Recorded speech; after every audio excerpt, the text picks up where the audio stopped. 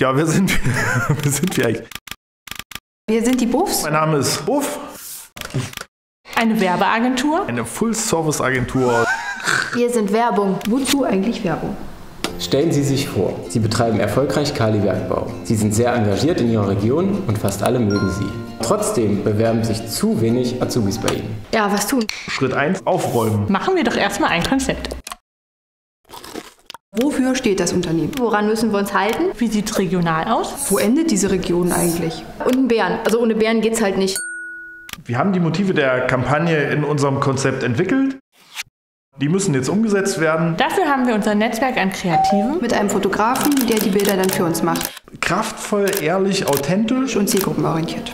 Und jetzt muss die Botschaft in die Welt.